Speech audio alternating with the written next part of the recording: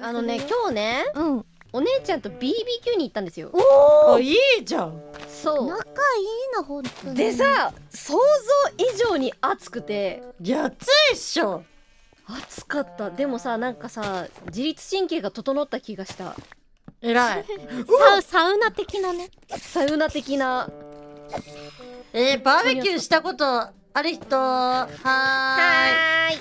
ない人は？はーいえなんかえアクタンさ、うん。あのみごちのさ あれ手あげた？あげてない。え違うなんか誰が大人数だったらさ死ぬなと思って様子をなんで大人数が苦手なの？そうだよ。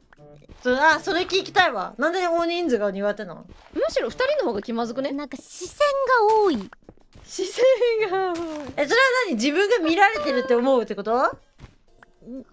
うん自意識過剰や。な誰も見てねえよ。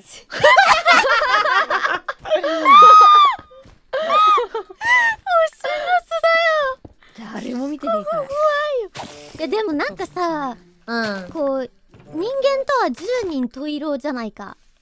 はだからさ哲学みたいに宙にトイレじゃないか。だからさ、そうだね。なんかあの一つの物事を話した時にさ思うことはさみんなそれぞれ違うわけじゃないか。そうだね。だからさうかつに変なこと話したらなんか変な風に思われるのかもしれないじゃん。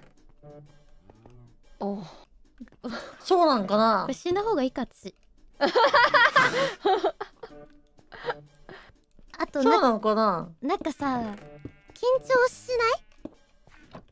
喋る時とかさ2人だったらさうん。わーって喋れるけどさ落ち着いて。みんながいるとさみんながシーンってなってさ話を聞いてくれるからさなんか発表会みたいな気分になっちゃう。あー。なんか全然共感を得られないからこの話やめようよ。